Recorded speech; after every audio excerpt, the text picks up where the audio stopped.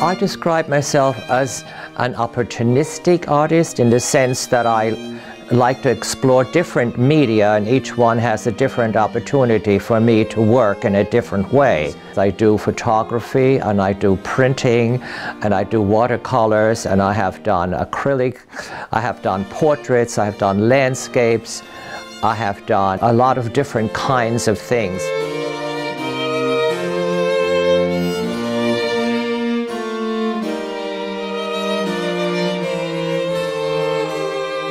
Well, Pete Seeger is one of my heroes in uh, in the area in the mid-Hudson Valley and I wanted to show the Poughkeepsie Bridge and the boat that he got to be on the river and the mountain has all the songs that he ever sang written instead of putting trees there I wrote the songs on the mountain and that kind of uh, makes the mountains and his songs come together in a synthesis.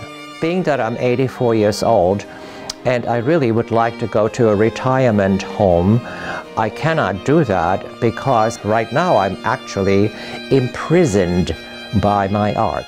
So I would like to have an art repository where I and other artists of my age can bring their work for future auctions, uh, like the one that's being done in um, Barrett House uh, Art Center in September 23 through the courtesy of Joanna Frank in order to establish the Karl J. Volk Art Scholarship for a student in the Nassau Spackenkill School where I taught for 30 years and uh, at the high school of Poughkeepsie. So there will be two scholarships uh, bought through the sale of my work on September 23. And I hope there will be other auctions uh, in order to, for me to uh, divest myself of my artwork so I could go on with my life and my death.